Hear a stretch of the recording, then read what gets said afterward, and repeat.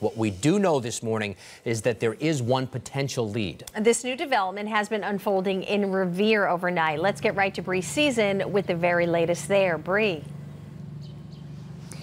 David and Carrie, we have confirmed that there is a person of interest. Now, whether that's the same person that David Robichaud was mentioning at Brigham and Women's, who knows? But we can tell you that there was a search here at this Revere apartment complex overnight and that it is directly tied to the bombings on Boylston Street yesterday. Now, earlier this morning, we did see police questioning two men who were walking into the building. They were stopped by federal authorities in the lobby of the building, asked several questions. They handed over their passports, and then they were allowed to go upstairs.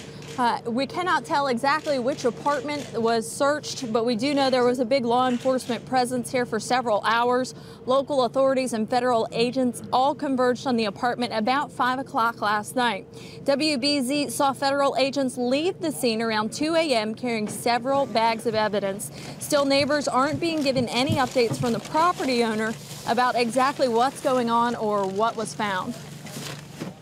I would like to find out what's going on before I go back inside. I think it would be appropriate for them to make some kind of statement just to let us know that we're safe because, I mean, if they've been here with the ATF and FBI, that they maybe should at least let us know that we're not in any kind of danger.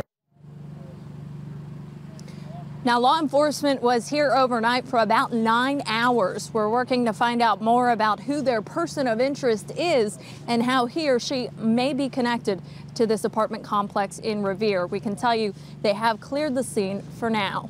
Live in Revere, I'm Bree Sison. David and Carrie, back to you.